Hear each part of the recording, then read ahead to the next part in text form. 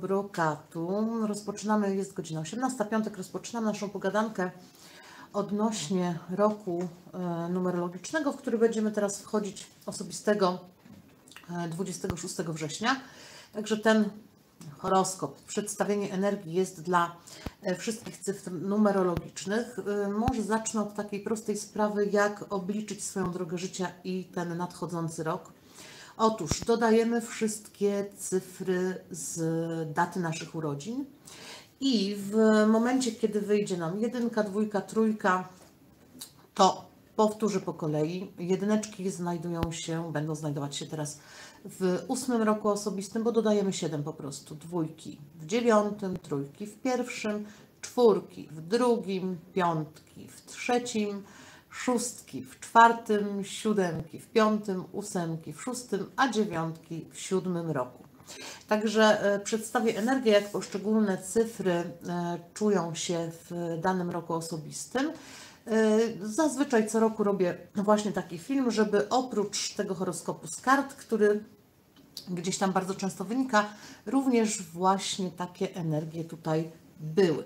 Czekajcie, jeszcze zobaczę, czy da się ustawić jakoś sensownie, no, tak jest sensownie ustawione, jak można. Dobrze, słuchajcie, zaczniemy oczywiście od jedynek w ich y, ósmym roku e, osobistym. Jeżeli dajecie, jeżeli jesteście tutaj jedyneczkami, to powiedzcie na czacie, że jesteście i słuchacie. Także mm, zaczniemy od początku, czyli od. E, Słuchajcie, jedynki w ósmym roku osobistym. Jedynki generalnie są dosyć e, energicznymi, szybkimi, intensywnymi wibracjami, więc tak naprawdę jedynki ze względu na swoją innowacyjność, pomysłowość, rzetelność działań potrafią odnaleźć się praktycznie w każdym roku osobistym. Natomiast wiadomo, że są takie momenty, które troszeczkę gorzej na nie wpływają. Ósemka dla jedynek powinna być dobra, z tego względu, że oprócz tego, że pewne rzeczy będą jak gdyby wracać, to również w ósmym roku osobistym mogą pojawić się e, nowe aktywności, a dla jedynek nowe aktywności są sprawami bardzo ważnymi. Jedynki generalnie lubią zapoczątkowywać. Trochę, gdyby porównać jedynki astrologicznie, to może być ten znak barana, który w bardzo mocny sposób jest innowacyjny. Więc e, jedynki tę innowację uwielbiają. No i ósemka na takie innowacje daje mm, dobre energie. Męczące dla jedynek mogą być tak zwane zwroty. I o ile to są zwroty mm, pozytywne, jeżeli to są podsumowania pewnych wcześniej zaczętych rzeczy, to oczywiście, jeżeli jest to pozytywne podsumowanie, to każda jedynka będzie zadowolona, ale czasem są to takie zwroty, którym należy się jeszcze raz przyjrzeć i może to być lekko kłopotliwe. Jedynka lubi wychodzić przez, przed szereg, niekoniecznie lubi ciągle mielić i mielić te same tematy, więc to może być w ósemce dla jedynki nieco yy, lekką niedogodnością. Rok y, ósmy jest rokiem, w, tak zwanym rokiem karmicznym y, w numerologii, czyli wszelkie rzeczy mm, do nas wracają y, i niekoniecznie z tej strony, do której zostały zasiane. Więc możemy sobie mm, teraz wyobrazić, że w momencie, kiedy przez 7 lat y, stworzyliśmy coś nowego, a jedynki uwielbiają tworzyć nowe rzeczy.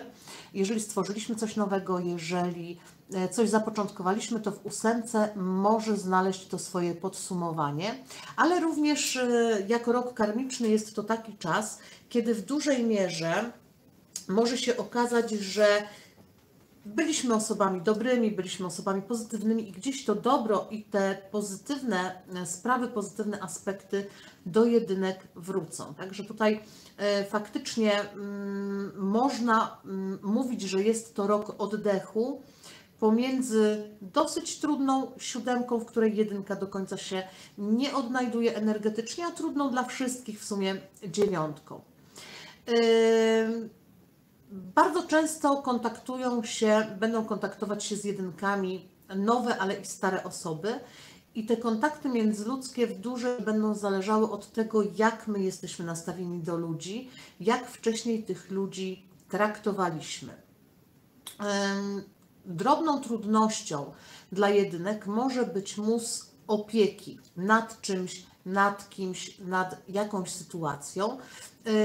Jedynki y, wolą dźwigać odpowiedzialność za coś nowego, y, wolą w tempie, w ekspresowym coś robić niż powielać pewne schematy, a jednak opieka nad osobami, sytuacjami bardzo często y, jest taka lekko schematyczna, tak? Trzeba przyjść, sprzątnąć, być może ugotować, być może przynieść zakupy. Także, e, także e, to może być takie dosyć trudne dla jedynek. Natomiast jedynki pięknie odnoszą się w roku ósmym, dlatego że jest to rok bardzo aktywny.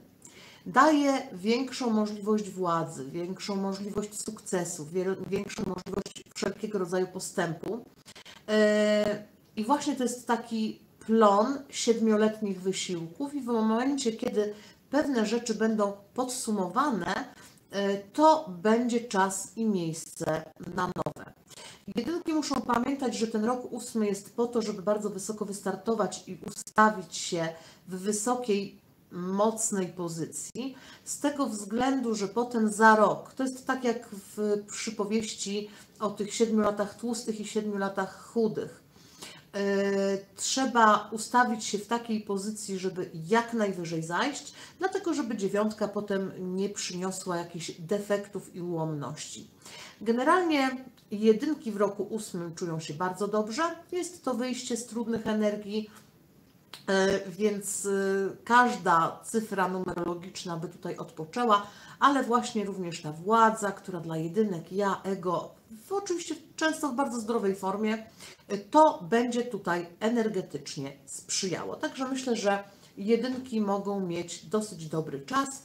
Przypominam, że ten czas od 26 września do nowiu w następnym wrześniu, czyli w 2023 roku. Y, jeżeli chodzi o dwójki, jest to mm, jedna z tych y, cyfr, które trafiają na negatywny okres. Po pierwsze, dwójka jest cyfrą harmonijną. Ona lubi współpracę, ona lubi ludzi. Jakby móc porównywać dwójki do znaków zodiaku, to takie um, raki, rybki, czyli rodzinność, sentymentalność, współpraca, żeby wszystko miało harmonijny, dobry aspekt i takie są milusie zazwyczaj. No ale wchodzą w rok dziewiąty, który milusi nie jest. No i tutaj faktycznie dla dwójek może to być dosyć ciężki rok, bo one są wrażliwsze, jeżeli chodzi o mm, posiadanie tej numerologii, delikatniejsze trochę. Odmawiam siły działania, która może być wyuczona poprzez ten świat, gdzie my uczymy się stawać na wysokość zadania w trudnych momentach, ale jednakowoż dwójki po prostu są wrażliwsze. I dwójki w dziewiątym roku osobistym nie będą czuły się dobrze. Dobrym aspektem dziewiątego roku osobistego może być jedynie ten moment, że dziewiątka służy podróżom, a dwójki lubią przemieszczać się i podróżować, szczególnie w znanym, fajnym i kochającym gronie, a również służy mm, wyjazd, y, nie, nie wyjazdom, tylko nauce a dwójki generalnie przyswajają wiedzę w dosyć fajny sposób. Ja nie abstrahuję tutaj od szkolnych ocen, bo system edukacji, jaki jest, każdy widzi.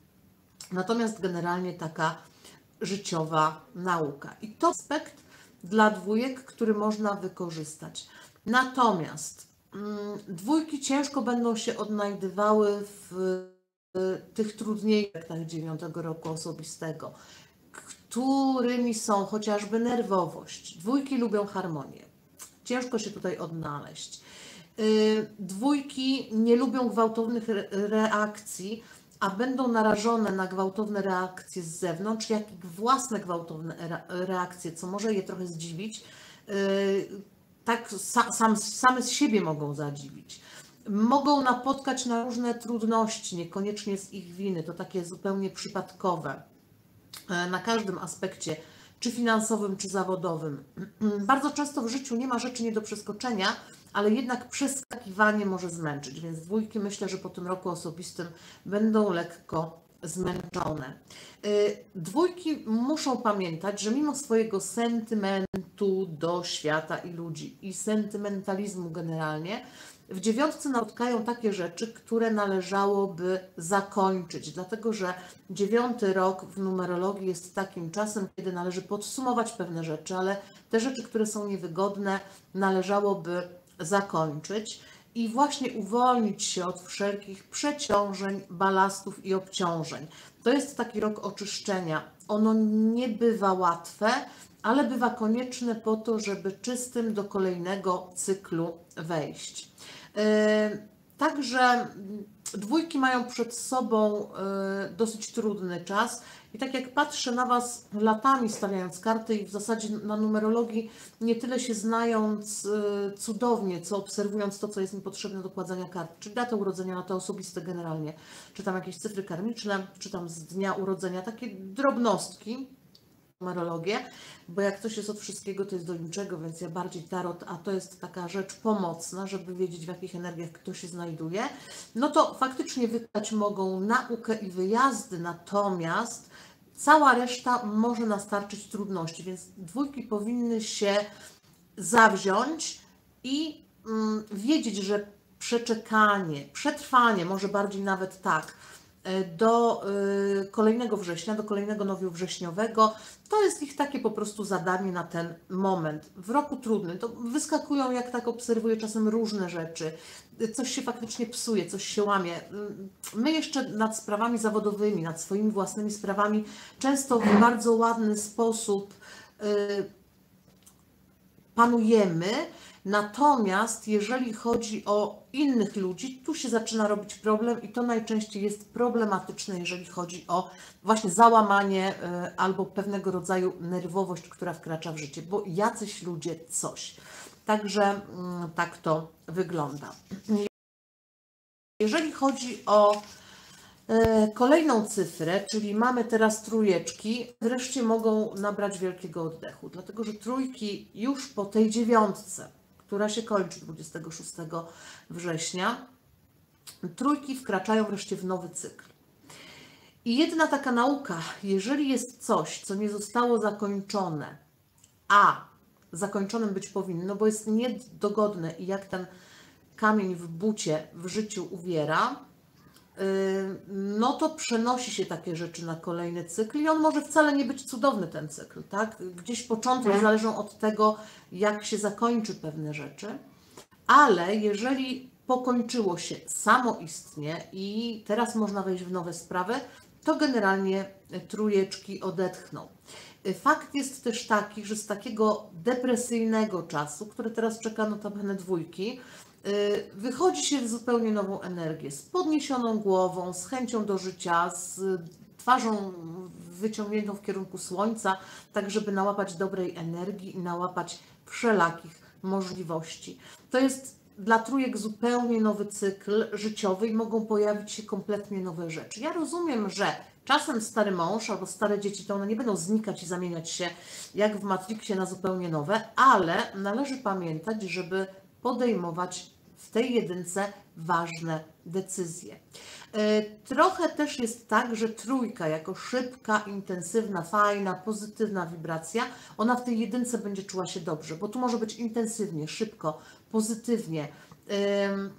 Właśnie może się dziać pewne rzeczy na łeb, na wiosną w znaku barana, nagle pojawiają się liście na drzewach. Takie nagłości mogą trójce towarzyszyć, ale będą to nagłości dobre, będą to nagłości pozytywne. E, trójki mogą wreszcie uniezależnić się od czynników małżonkowych, rodzinnych, y, kredytowych, wszystkiego tego, co do tej pory obciążało, no bo właśnie to tak jakby z tej dziewiątki, jakby człowiek siedział pod powierzchnią jeziora, a teraz nabrał oddechu. I tak właśnie będą czuły się trójki. Mm, to jest rok dla nich bardzo korzystny. Nowe miejsca, nowe możliwości, nowi ludzie, nowe postacie, nowe pomysły na siebie. I z wszystkiego nowego należałoby korzystać, oczywiście w ramach prawa i zdrowego rozsądku. tutaj mówimy, y, nale, należałoby korzystać z wszelkich nowych rzeczy, dlatego że to, co się to, co trójki zaczną w jedynce, to potem będzie kontynuowane przez cały cykl, więc zaczynajcie, moje drogie trójki, rzeczy dla Was dobre i korzystne. Y, studia, nauka, wyjazdy, znajomości, inwestycje, tutaj te rzeczy mogą być dla Was bardzo korzystne. Y, trójki poczują lekkość bytu, poczują skrzydła i zrzucą y, z siebie właśnie taki balast poprzedniego roku. Będą powolutku zapominały o różnego rodzaju niemiłych doświadczeniach, których mogły doświadczyć w dziewiątce.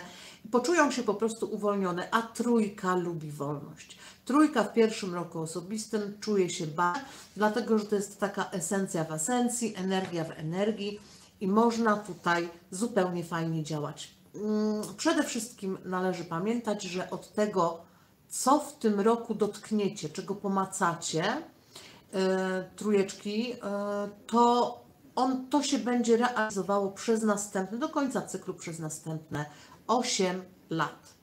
Także rok bardzo fajny. Jeżeli chodzi o czwórki, wkraczają teraz w drugi rok i mamy dwie parzyste cyfry, w zasadzie mamy 2 i 4, czyli jak gdyby podwójną dwójkę, tak? Tej, na tej zasadzie. Na, y, I dlatego generalnie te wibracje są y, w miarę równe. Y, czwórki dosyć dobrze czują się w drugim roku osobistym, który jest dostojny, nie jest nerwowy, jest spokojny, jest taki, jak powinien być. I to jest bardzo fajne. Natomiast mogą przeżyć trochę szok termiczny, wychodząc z intensywnej jedynki, wkraczając w spowolnioną dwójkę. Także y, tutaj spodziewajcie się, że ten pierwszy okres tego roku osobistego może być lekko creepy na zasadzie, ale jak to, nie szybko, nie intensywnie? No nie, nie szybko i nie intensywnie, dlatego że drugi rok osobisty jest po wygłaskać, wyszlifować, i wykończyć rzeczy, które zaczęło się w jedynce. Więc on spowalnia siłą rzeczy, uczy cierpliwości, ale jednocześnie jest to dobry rok. Szczególnie, że akurat czwórka, parzysta czwórka w parzystej dwójce, czuje się dosyć dobrze. Y, czwórki mogą spodziewać się, że na przykład mogą zmienić pracę w harmonijny sposób. Mogą zmienić miejsce zamieszkania w równie harmonijny sposób. Y, bardzo dobrze ta dwójka dla czwórek, które są takie kontaktowe i towarzyskie, sprzyja właśnie kontaktom międzyludzkim, sprawom towarzyskim, ale również współpracą, pracy w grupie. Yy, także to może być dosyć dobrze wykorzystane, bo o ile trójka w tej jedynce to jest na zasadzie ja, samodzielność, ego, tak, i, i bardzo dobrze, o tyle dwójeczki w tym czwartym roku osobistym, no to czwóreczki w drugim, przepraszam, odwrotnie, czwóreczki w drugim roku osobistym, no to tak właśnie powolutku ze współpracą z innymi ludźmi tych współprac będą się uczyć. Y, szokiem dla czwórek może być również to, że wszystkie te plany, które tak się pięknie rozwijały w jedynce, one mogą być lekko zahamowane. Dlatego ja drugi rok osobisty bardzo często nazywam y, rokiem nauki cierpliwości, co nie oznacza nic złego, tylko że czasem trzeba włożyć coś więcej energii, albo czasem trzeba troszkę, żeby tam się lepiej zadziało. Czwórki będą bardzo dyplomatyczne, nie będą zrażać do siebie otoczenia. Należy również nauczyć się w tym drugim roku osobistym, żeby sprawy zostawiać swojemu rytmowi, nie naciskać. Nacisk może powodować opór, natomiast pozostawienie spraw swojemu biegowi ułoży to we właściwym czasie, we właściwym miejscu i z właściwymi ludźmi e, przy boku. E, jeżeli wcześniej zdarzały się jakieś stany chorobowe, dolegliwościowe, to również ta dwójka może pewne rzeczy wyrównać. Oczywiście no cuda się zdarzają, ale umówmy się, że po prostu można trafić na dobrego lekarza, na mm, osoby, które poprowadzą na dobrą terapię, leki, diagnozę. Także tak. No i oczywiście wszelkie rozsądzanie sporów, mediacje, kompromisy, y, wszystko, co jest związane z interakcją z drugim czynnikiem, takim jak człowiek czy sytuacja, będzie dla czwórek w bardzo fajny sposób realizowane. Piąteczki. Piąteczki wkraczają w trzeci rok osobisty. Ja zazwyczaj mówię, że trzeci rok osobisty jest najlepszym rokiem energetycznym Nie dlatego, że się cuda w nim zdarzają, tylko dlatego, że łatwość realizowania celów jest bardzo duża.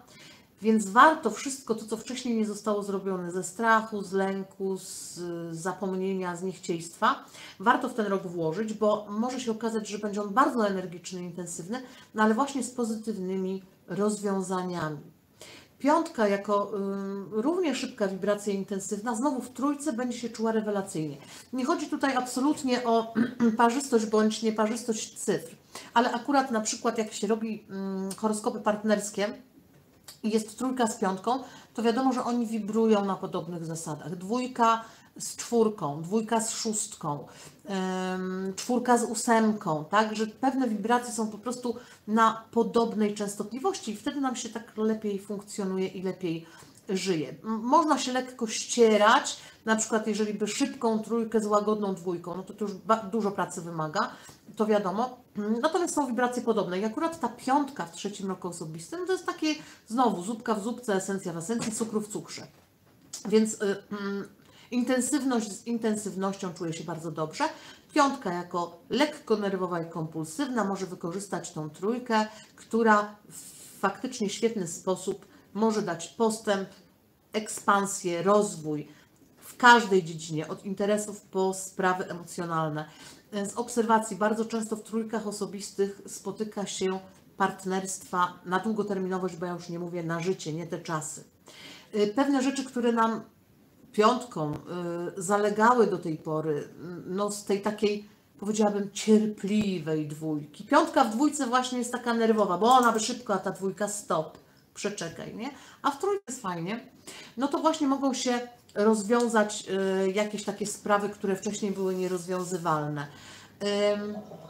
Dobre, silne, szybkie energie, y, rozwój twórczości, rozwój własnych zdolności, jeżeli macie, znowara chodzi, sorry, jeżeli macie jakieś uśpione ambicje albo rzeczy, które chcieliście zrealizować, to dla piątek ten trzeci rok osobisty jest najlepszy. Ja rozumiem, że czasem są projekty, które wymagają pięciu lat, ale zaczynanie e, ich w trzecim roku osobistym jest czymś bardzo właściwym i pozytywnym. Szczęście w przyjaźni, szczęście w miłości, dużo nowych znajomości, rozruchu, intensywności, biegania, podróżowania i właśnie to poznawanie ludzi na długie funkcjonowanie, dlatego że akurat piątki będą po prostu oczami wyrzucia, wyrzucać z siebie wdzięk i uroczość, byle nie uroczność, ale właśnie ten urok osobisty. To budzi zainteresowanie płci przeciwnej i tu się może sporo zadziać. Y, dla piątek będzie trzeci rok dobry wibracyjnie, radosny, pogodny, pozytywny. Tutaj wszelkie y, awanse, zdobycie czegoś naprawdę leżą u stóp, byleby nie zaszyć się w szafce pod zlewem, tylko ten rok po prostu wykorzystać. Jeżeli chodzi o szóstki, y, to one będą teraz w czwartym roku osobistym. Ja tak sobie muszę ten, żeby, żeby nie pomylić y, kolejności. No i tak, szóstki będące w piątym roku osobistym teraz jeszcze, mogły poczytywać ten rok jako nerwowy, taki intensywny, ale że w którą stronę, ale że co zrobić, bo szóstki są znów harmonijne, a piątka jest nerwowa. Natomiast teraz szósteczki wchodząc w rok czwarty odetchną. Dla większej ilości wibracji czwarty rok osobisty jest rokiem niezłym, ale topornym, takim przyciężkim, takim trochę ciągnę za sobą ten chrust, jak w dziesiątce buław, Szóstki są w trzecim. To poczekajcie, nie, nie pomyliłam. Czwórki w drugim, e, piątki w trzecim, szóstki w czwartym, siódemki w piątym. Dobrze, nie, nie mylcie mi tutaj, bo to naprawdę wymaga, wiecie, tam matmy i neuronów, żeby tego nie pomylić. Do wibracji życia dodaje się 7, e, tak? Czyli szóstki wejdą w czwarty rok osobisty. Więc to, to tutaj mo, mo, mo, może tak być, że właśnie to jest takie spowolnienie, tak, szóstki w czwarty rok osobisty. Spowolnienie, spowolnienie, czyli to jest to, co mówiłam, że, że, że się teraz dzieje, ok. Mamy przełom lat i stąd yy, neuronki. Dobra, yy, szóstki w czwartym, czyli z tej intensywnej trójki, która yy, mogła być taka szybka i pozytywna, mamy yy, spowolnienie i y, oczywiście, że pewnego rodzaju y, harmonia, takie, mm, bo szóstki są bardzo harmonijne, tak? I takie ogarnięcie przestrzeni jest fajne, ale y, to takie zatrzymanie i pewnego rodzaju toporność może być dla szóstek, mimo że to są dwie cyfry parzyste, niezbyt um, dobre. Y, w czwartym roku osobistym ja zazwyczaj y, daję swój przykład, kiedy ja, będąc w swoim czwartym roku osobistym, zmieniłam pracę, zmieniłam pracę w telewizji, gdzie y, przeszłam z jednej do drugiej i potem bardzo mm, często zdarza się tak, jak u mnie się zdarzyło, że coś tam nie gra totalnie i trzeba wrócić do starych rzeczy. Dlatego, jeżeli na przykład zadajecie mi pytania odnośnie swoich spraw zawodowych, to ja bardzo często sprawdzam numerologię, czy aby ta chęć na przykład zmiany, totalnej zmiany, to nie jest takie trzepotanie wewnętrzne, e, tylko czy jest y, to bardzo mocno przemyślane. Dlatego, że czwarty rok osobisty nie sprzyja zmianom pracy, chyba że, to ja też zawsze powtarzam, mamy wyciągnięte ręce, nie determinując wszechświata w jego możliwościach i coś nam spadnie z nieba. Jeżeli coś próbujemy y, wypłynąć czy uzyskać w tym czwartym roku osobistym, jest to dosyć trudne. Czwarty rok y, osobisty jest po to, żeby znaleźć swoją przestrzeń i na tej przestrzeni się po prostu okopać, nie podejmując zbytniego ryzyka zawodowego czy finansowego. Warto by szóstki w tym roku y, próbowały zadbać o swoje zdrowie psychiczne, to może jest złe słowo, ale o swój komfort psychiczny. Y, z tego względu, że mogą pojawić się dosyć liczne problemy w kontaktach międzyludzkich. Szóstka uwielbia ludzi, czwórka ich dystansuje, tak? Czyli jak mamy tutaj e, tą lekką e, niezgodność, to na poziomie komunikacji mogą być problemy i to może determinować e, overthinking, nadmierne myślenie, to może tam neurony mogą mocno działać i tak nie wymyślimy, co poeta miał na myśli. I trzeba tutaj faktycznie zadbać o ten swój komfort psychiczny. Jak można to zrobić w czwartym roku osobistym? Poprzez krótkie, mało intensywne wyjazdy na zasadzie resetu głowy. I to będzie dosyć e, ważne. Szóstki dobrze poczują się w czwórce z jednego względu. Szóstki uwielbiają planować pewne rzeczy, a czwórka jest dobra, czyli na początek realizacji planów. Więc jeżeli teraz w poniedziałek wchodzimy w ten nowy rok osobisty, to dobrze, numerologiczny, to dobrze y, by było, żeby zaplanować jak gdyby cel i kroki do niego, ponieważ to będzie realizowane. Trochę przyciężko, trochę taki rycerz monet, praca u podstaw, trochę taka czwórka monet, czwórka mieczy, tak? Czyli to jest raczej y, więcej dystansu, więcej uziemienia, ale będzie to realizowane po kolei i w tym akurat szóstki jako harmonizujące życie mogą się odnaleźć. Mogą również odnaleźć się we wszelkiego rodzaju kursach, szkoleniach i dokształcaniach, z tego względu, że po pierwsze lotność umysłu szóstki, tutaj nie można mieć niczego do zarzucenia, a rok czwarty jako rok siewu jest takim czasem, kiedy te szóstki poczują się w swoim żywiole, dokładając do swojego piecyka większe możliwości. Rozwój przyjdzie później. No i właśnie ten rodzaj wibracyjnej niecierpliwości, że chciałoby się widzieć efekty dosyć szybko, a te efekty niestety mogą przyjść w następnym, w kolejnym i w kolejnym roku, no to może być takie lekko upierdliwe dla szóstek. Dobra, teraz idziemy siódemki w piątym. Siódemki w piątym roku osobistym. Y, ja jestem siódemką i nawet bardzo się cieszę, że po tej pracowitej czwórce, kiedy faktycznie pewne rzeczy były nie że złe, ale takie toporne, wejdę w piątkę, która wreszcie trochę rozwiąże możliwości. Rok siewu zamienia się na rok zysku. E, co jest ważne dla siódemek? Piątka może być rokiem lepszym lub gorszym. E, piąty rok osobisty może być rokiem bardzo nerwowym i negatywnym dla ludzi, którzy są asekuracyjni, i tacy wstrzymani. Natomiast jeżeli siódemki będziecie odważne, ryzykujące, ale to nie jest ryzyko na zasadzie szaleństwa, tylko takie wyjście ze strefy komfortu, to wtedy ten piątek osobisty może być naprawdę pozytywny i dobry. Siódemka nie jest cyfrą intensywną, tak jak trójka i piątka, nie jest cyfrą lekko zdystansowaną, jak na przykład dwójka. Siódemki są przede wszystkim intuicyjne i lekko magiczne w dużej mierze. Więc w każdym roku osobistym kierowanie się intuicją będzie czymś mm, bardzo ważnym. Natomiast pojawiające się liczne nowe możliwości w piątym roku osobistym spowodują, że trzeba się będzie kierować tej, tą intuicją na zasadzie wyboru najwłaściwszych albo najbardziej korzystnych na przyszłość rzeczy. Owszem, może być to rok nieco nerwowy, lekko niespokojny, może być takim rokiem, w którym bardzo będziemy chcieli zmienić, ruszyć, działać, właśnie siódemki.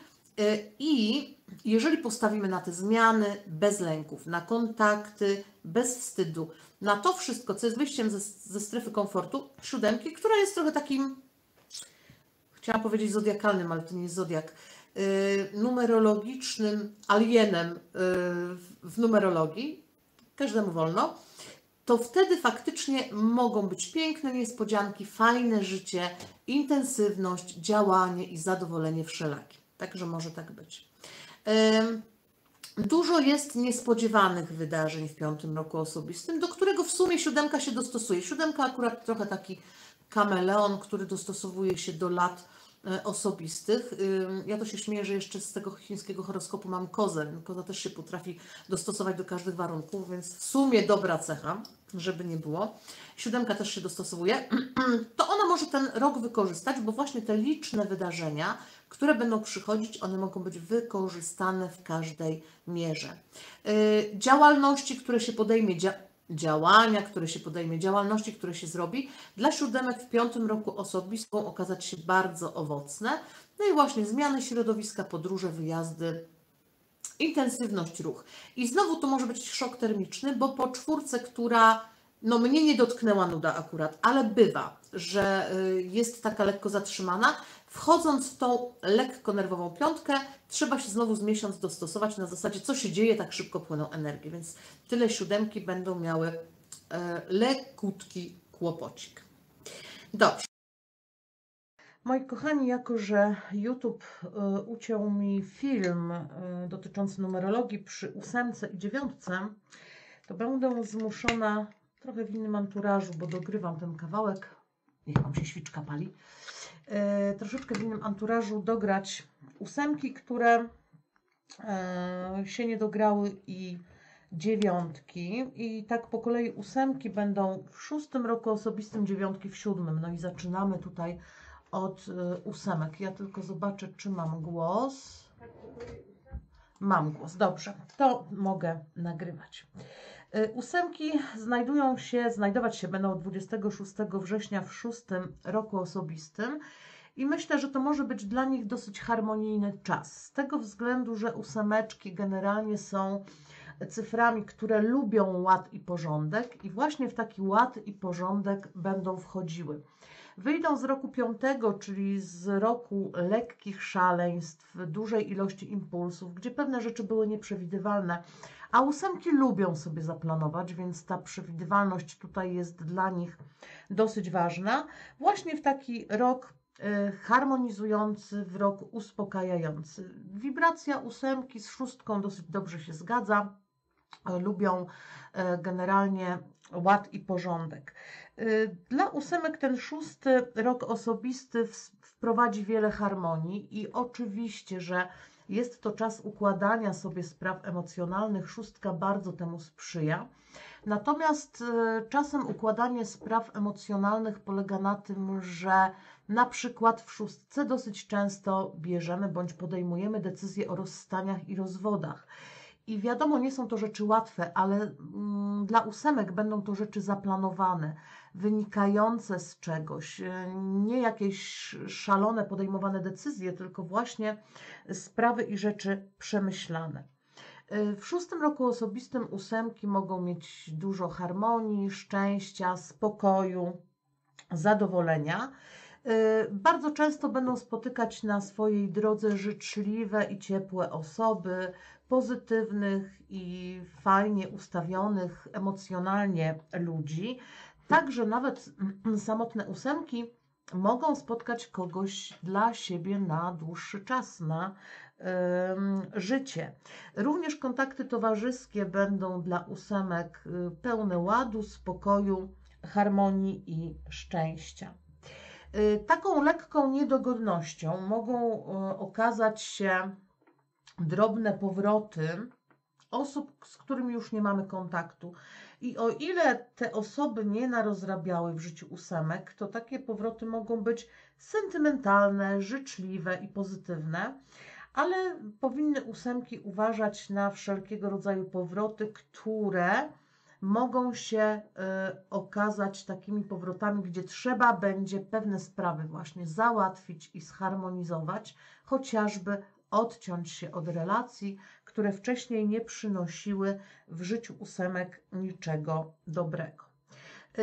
Ósemki mogą pomyśleć w szóstym swoim roku osobistym, by założyć rodzinę, zintegrować związek, umocnić więzi. To będzie dla nich bardzo dobre i pozytywne. Również jest to rok, który sprzyja wszelkiego rodzaju długoterminowym inwestycjom czy rozpoczynaniom działania na własny rachunek. Ale jak to ósemeczki y, w tak harmonijnych y, energiach będą bardzo mocno chciały realizować plany, które być może w piątce lekko szaleńczo wchodziły nie tam, gdzie potrzeba, natomiast w szóstce właśnie krok po kroczku mogą się ładnie realizować. Mm, Rok szósty osobisty dla ósemek również będzie sprzyjał poprawie sytuacji materialnej. Może to wynikać na przykład z dodatkowych zajęć, z wszelkiego rodzaju podwyżek, docenienia pracy, którą się wcześniej wykonało, mm, umiejętnościami, które się wykazało, y, sprawami, które można było zdobyć. Także tutaj ta poprawa sytuacji materialnej, oczywiście nie sama z siebie, ale sprzyjające energie do tego będą istniały. Mm, Także tak mniej więcej wygląda rok osobisty dla ósemek.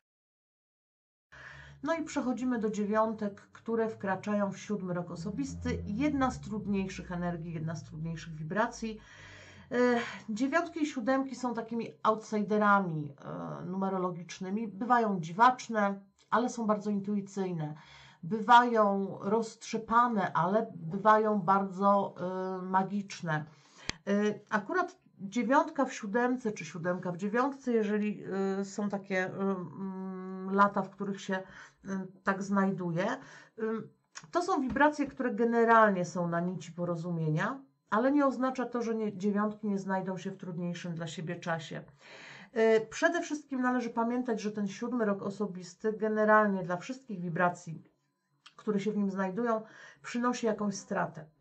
Czasem odchodzi jakaś osoba, czasem nawet może ktoś e, umrzeć, zachorować, dlatego że te siódemki, no to rok kosy, czyli rok, który wykasza coś z życia mm, w dosyć taki intensywny sposób. Oczywiście często i w dużej mierze są to osoby i sytuacje, które nie są pewnymi nagłościami, ale i z takimi sprawami można się będzie liczyć. Natomiast dziewiątki w siódemce na polu wielkiego zrozumienia cykli życia, cykli wszechświata, koła życia, z pewnymi rzeczami będą mogły się pogodzić łatwiej. Dziewiątce jest łatwiej w siódemce niż innym wibracjom, chyba że siódemce w siódemce. Z tego względu, że właśnie ta intuicyjność, magiczność, to zrozumienie cyklu y, tutaj w bardzo mocny sposób się pokazuje. E, Dziewiątki powinny działać bardzo e, intuicyjnie, dlatego że ta intuicja może ich dobrze poprowadzić i wykorzystać ten rok siódmy na rozwój, na szeroki rozwój, wszelkiego rodzaju duchowość, wszelkiego rodzaju umysł czy ciało. Mm, Tutaj ten rozwój będzie dla dziewiątek bardzo dobrze i tym bardziej, że odejście od takiej frywolności, odejście od y, roztrzepania bardzo ładnie harmonizuje energię siódmego roku osobistego, gdzie dziewiątka będzie mogła nie stracić. Po prostu, czyli jak nie wiemy, co zrobić, to w siódmym roku osobistym powinniśmy iść w rozwój. Wtedy rok generuje mniejsze straty. E, słuchanie się głosu wewnętrznego, słuchanie się swojej intuicji spowoduje dobre wybory i te dobre wybory będą mogły potem procentować w przyszłości. Oczywiście dziewiątka, dziewiątka moja siódemka jest rokiem strat, ale e, nie musi ich przynosić bardzo dużych. E, w siódemce trzeba słuchać tej intuicji, z tego względu, że dziewiątki trochę rozmarzone, trochę energetyczne, ale pod tym magicznym względem mają takie tendencje do oszukiwania samych siebie. I w siódmym roku osobistym należy uważać na nowe przyjaźnie i znajomości. Siódemka osobista i dziewiątka nie jest dobra na zacieśnianie więzi, śluby, yy, zaręczyny, bo nie niesie to dobrych wibracji, więc na to trzeba będzie uważać. Bardzo dobrze dziewiątką będzie wychodziła refleksja nad sobą i światem, Y, wszelkiego rodzaju autoanaliza, więc jeżeli macie problemy z ustawieniem swojego środka, to to będzie dobry czas na taką właśnie realizację. Y, może być to czas takiego egzystencjalnego niepokoju, ale y, przez dziewiątkę on będzie bardzo dobrze wykorzystany. Czyli sumując, ten siódmy rok osobisty nie jest dla dziewiątek krytyczny. Straty mogą się zdarzyć, natomiast wejście w samorozwój na jakimkolwiek poziomie, czy formalnym, mówiącym o szkołach, czy nieformalnym, mówiącym o zdobywaniu wiedzy, po prostu czytając, mm, patrząc, analizując, i tej samoanalizy może to być rok, który nie będzie takim złym rokiem.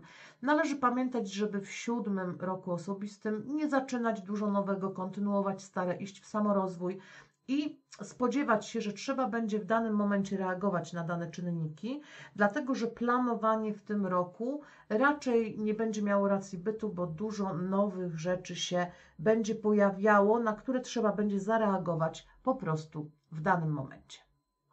No dobrze, ten film będzie poskładany z dwóch kawałków, ale tak jak mówię, YouTube po prostu nie zostawił akurat siódemki i ósemki, więc y, wrócić ósemki i dziewiątki, więc trzeba to było dograć. Mam nadzieję, że nie będzie to dużą przeszkodą. Ja Was mocno buziakuję, pozdrawiam i do zobaczenia w innych filmach. Pa, pa.